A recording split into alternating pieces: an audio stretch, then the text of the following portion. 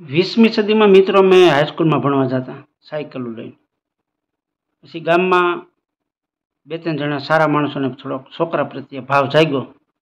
આંદોલન થયું ને એમાં બસ ચાલુ થઈ. પછી પાસ કાઢવા પણ એ બસ અમે બસ સ્ટેન્ડ ઊભા હોય રાહ જોઈને, એટલે બસ આવે. અમારું બસ સ્ટેન્ડ થોડુંક ઊંચું છે. ગામના પાદરમાં નદી અને નદીમાંથી આમ બસ ઢાળ કરીને આમ ઉપર આવે. પણ આમ બસને જોવો ને એટલે આમ ત્રાહી ઠાઠું આમ ત્રાહું હોય. એટલે ઓલા ઓટા ઉપર ક્યાંક બેઠો ને ઝાડવા હેઠે એ ભાગે અને ઓલો બસ સ્ટેન્ડમાં હોય એ ભાગે કે આ બસ ક્યાંક અહીંયા આવી જાય એમ. આમ ત્રાહી ત્રાહી હાલી આવે. ઠાઠું આગળથી આમ મોહકું હોય ને એનાથી ઠાઠું આગળ થવાનો પ્રયત્ન કરતું ને એવું લાગે આપણને. અને બધા એ ખડકાઈ જાય વહી આવે. આ વીસમી સદીની વાત હતી. અને આ એકવીસમી સદી આવી ગઈ તો હમણાં પાછી મેં એક એવી બસ એવી ને એવી જોઈ. ઈ જ ટાઈપ આમ, ત્રાહી ત્રાહી. મારે મોટરસાઇકલ આમ સાઈડમાં લઈ લેવી પડી. મેં આ એકવીસમી સદી આવી ગઈ.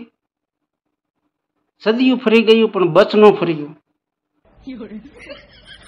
આમ બસનું અમુક મોરા જોવે ને તોય એમ લાગે કે આ, આની કેટલી મજબૂરી છે. આમ રોતી હોય ને માથે બોદરેશન હોય ને આમ પરાણે કોઈક ધક્કા મારીને છોકરા નિહાળે ન મૂકવા જતો એ રીતે અમુક બસો હાલતી હોય. અમુક બસો તો આમ મોરા આમ.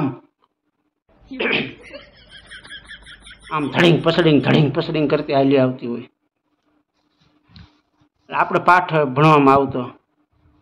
મનુભાઈની મોટર ચાલી રમપમ રમપમ રમપમ. આ બસ જોઈને મને એવું આવ્યું કે દાદાજીની બસ સાલી ધડીંગ, પસડીંગ ધડીંગ, પસડીંગ. કોને ખબર? નથી, એમાં સુધારો નથી આવતો.